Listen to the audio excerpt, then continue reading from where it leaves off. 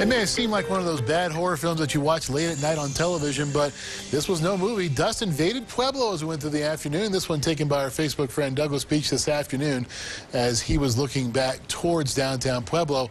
He also took that picture that we showed you earlier on Abriendo Avenue and I-25 where he could not even see downtown even though he's pretty close to it at that point.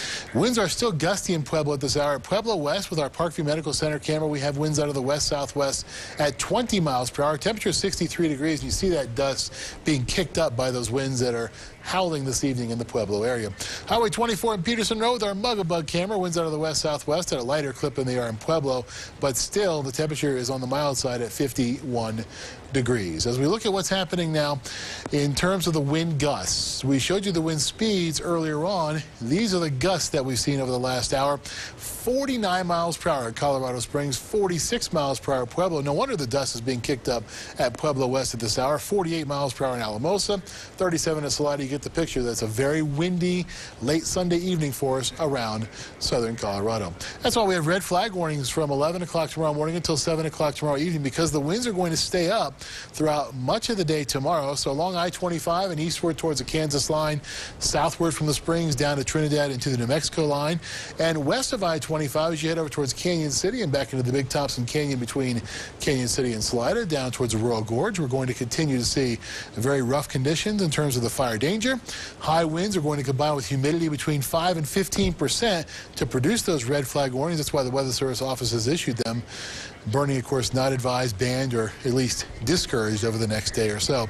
Wind speeds, as we take a look at our RPM model, notice they're in the 20 mile per hour neighborhood, not only tonight, but also as we go through our morning commute tomorrow. It's going to make our commute a rough one, and that'll last all the way into our Monday afternoon. You see those wind speeds continue to be above 20 miles per hour, not only for tomorrow in the early afternoon, but all the way through our Monday evening into our Tuesday as well. 55 is the high in the Springs tomorrow, 60 in Pueblo. Considering that it was near 70 and above 70 in the two cities today, it's going to be quite the shock to the system to see temperatures that much cooler combined with all that wind that we were talking about.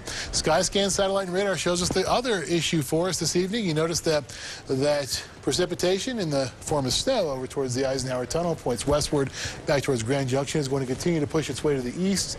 So if your travel plans take you up towards Denver, there will be a rough go in terms of north of Denver, especially along I-25 as you head up towards Fort Collins and eventually into southern Wyoming. Skycast is showing us that still very nicely, and it's going to continue at least over the next several hours before it begins to fade away late tonight, early tomorrow morning.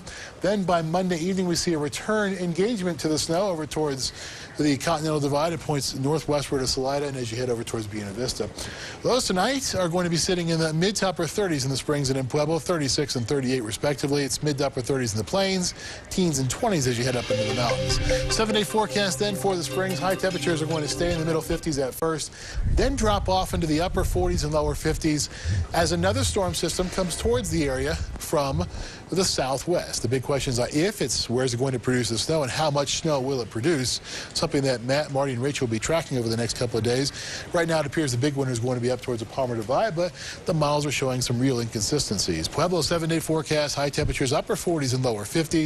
A chance for rain and snow for you as well.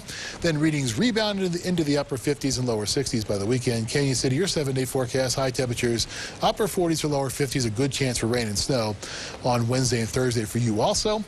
Same thing is true in Teller County. Your high temperatures after sitting in the mid to upper 40s are going to drop off into the lower to middle 40s throughout the middle portion of the seven-day forecast. Since there was to be some upper 30s around as well, then the readings rebound to the middle 40s. Okay.